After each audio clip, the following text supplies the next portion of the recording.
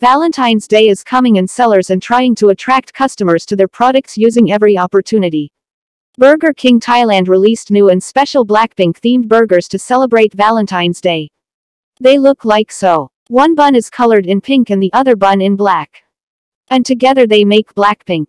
This is similar to when Blackpink baked black and pink macaroons to share with their neighbors in Blackpink house.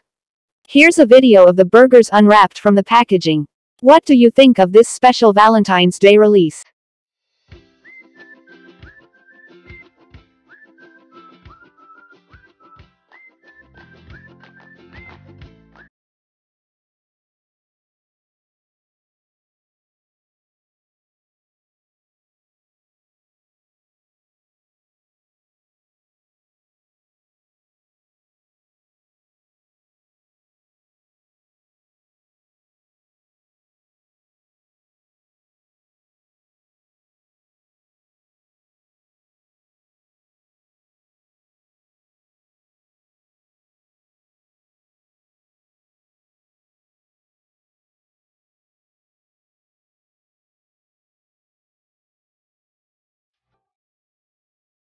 Subscribe for Blackpink daily updates.